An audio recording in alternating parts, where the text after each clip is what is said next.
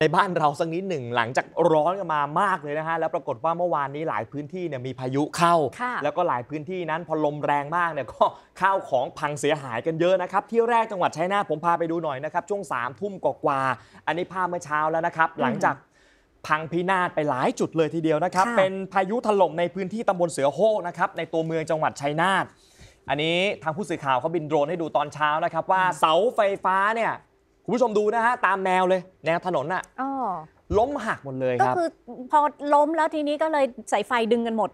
ก็ก็เนี่ยฮะก็ตามกันไปหมดเนี่ย โอ้โ80 กว่าต้น แล้วบ้านเรือนประชาชนอะไรด้วยเนาะก็โดนทับไปโอ้โหพังเสียหายกันเยอะเลยนะครับ คุณสุชาดาตรงประเสริฐชาวบ้านในพื้นที่บอกว่า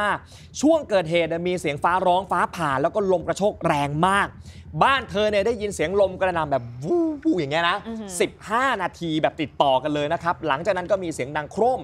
ดังสนั่นหน้าบ้าน ก็พบว่านี่แหละครับเสาไฟฟ้าหักทั้งหมด 80 กว่าต้น แล้วก็มีต้นที่หักล้มลงมาทับบ้านเธอด้วยนะครับค่ะเออแล้วก็ยังมีทรัพย์สินของชาวบ้านในพื้นที่เนี่ยพังเสียหายอีกเยอะเลยทีเดียวเนี่ยหักตั้งแต่โคนเลยเห็นไหมโอ้โหเออนี่นะฮะค่ะ